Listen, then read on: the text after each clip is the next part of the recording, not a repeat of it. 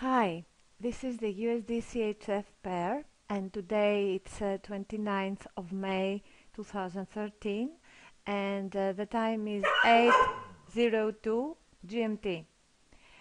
Um, we are looking at the H4 chart of the pair. We know that the pair is in an uptrend and but it had um, a, a corrective downward move and it's reversing and it's uh, resuming its uptrend after that plunge. Uh, we want to enter to enter long and we want to find the right point, the right entry point uh, so we avoid um, experiencing more plunges against our position although we know that even if there are plunges they will be minor uh, but it's market and you never you, you can be 100% uh, sure. So we uh, I use Ichimoku Kinko Hyo and I have superimposed Bollinger Bands, Alligator, the three lines, and fractals, the, the purple arrows, uh, which are alligator and fractals are Bill Williams um, indicators. Um, you will see uh, why I use both systems because I get confirmations uh, on, on certain uh, evaluations, on certain signals. And they are both uh, strong and accurate. Um, I, I, I can't say that I love one more than the other. I love both. So um, let's see the big picture. Definitely bullish on the daily chart. You see the leading Kumo is bullish. The edge is almost going to be sharp pointing upwards uh, uh, Tenkan-sen and Kijun-sen going crazily upwards and they are tangled with uh, with uh, alligator. The three uh, lines that made this this uh, angle and now they go straight up are alligator, leading alligator. Um, Chikou span, the green line of uh, Ichimoku, is going above past price action, but it made this angle because of this move here and um, sorry it makes this angle because of this candlestick the last candlestick which is uh, bearish. And we want it to turn upwards but we may plan our entry before. Um, weekly chart. On the weekly chart we see Chikou span the green line here going straight up. Um, the leading Kumo is bearish but uh, this formation is almost a flat top and belly belly down which is bullish formation.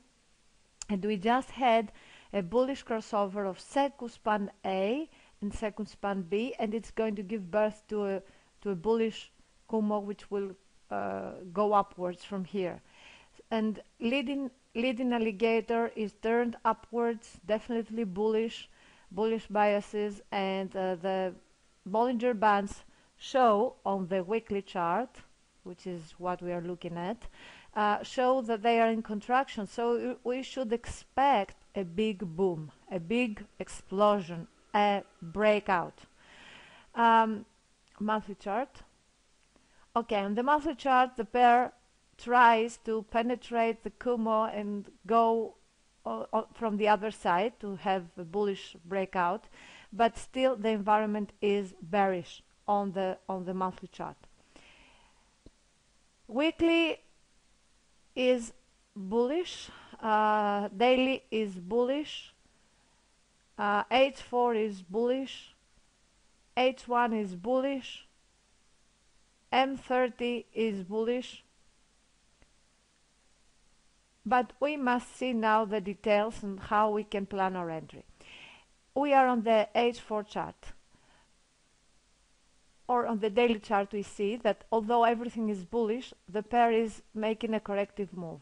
That's good for, for us because it would be ideal to enter long when this corrective move ends. So if we buy from the lowest possible point we uh, maximize our profitability okay? So the daily candlestick doesn't help us much because we don't know if this correction uh, is going to end because the leading alligator is bullish, so it doesn't help us regarding this bearish move. So we go to the H4 chart. Still, the leading alligator is bullish, so we, it can't help us understand when this bearish move will stop. Uh, on the on the H1 chart, we see that the leading alligator is turned downwards. It, it it's curved downwards. It's bearish, and it says that this move uh, is going to continue for a while. It's minor move, it's corrective move, but it's going to continue for a while. And I go down to M30 uh, chart to see how long it's going to continue. We see that the leading alligator here is curved strongly downwards and it says it will go for a while and um, we see that the uh, the edges of the Bollinger Bands are opened. They uh, are turned outwards which shows that the volatility will increase and since we have a very secondary move secondary wave it means that this move has uh, a bit of way to go for now.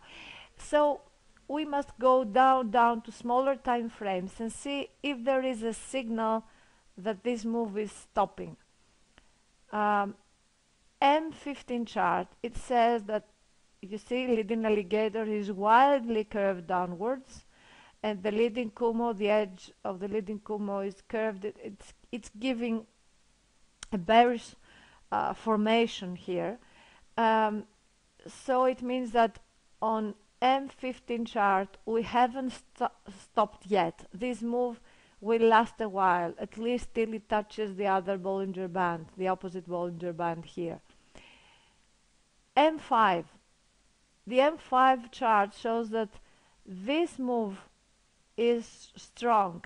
This bearish move will go for a few more uh, candlesticks, five minute candlesticks uh, leading alligator is falling, is falling down, and the lower Bollinger Band is straight down. It is not curved inwards, which would mean that it the, the down the down move is stopping for now. No, it doesn't happen.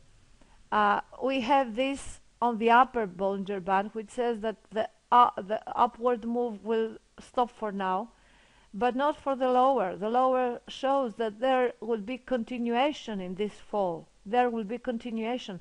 And the Bollinger Bands always want to contain the price. They contain the price and they measure the volatility, which means that if they expand, it means that the price will go lower. Okay? So we don't get an entry signal from the M5 chart yet. Let's go to the M1 chart. On the M1 chart, we have uh, the leading alligator being uh, falling down.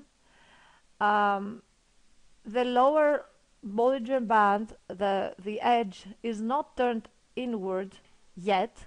So what we wait for? We wait for the outer edge, the lower uh, the edge of the lower Bollinger Band to turn inwards to make a curve like this. We want the leading alligator, the leading alligator on M1 chart to go upwards, to turn upwards, to become bullish. And once we see that on the M1 chart, we will go to the M5 chart and wait to see also the leading alligator on M5 chart to turn bullish, which is not happening now. When we see on M1 and M5 that uh, the leading alligator is turned bullish and, and the edge of the lower Bollinger Band is curved upwards and it closes and, uh, uh, and, and includes the price, contains the price, then it means that this corrective downward move is stopped for now and we may enter long we may enter long expecting uh, the price to resume upwards from that point. If you don't see that if you don't get the confirmation on the M1 chart and on the M5 chart and on the M15 chart that the leading alligator has turned bullish and that the, the price is being contained, is being closed by the Bollinger Bands, don't enter long. Wait till you get those confirmations. And then, before you enter long, make sure that the higher time frames, um, M30, H1, and H4 are 100% bullish. The moment you enter, make sure that the higher time frames are 100% bullish. Okay. So we can't give an, uh, an exact signal for now.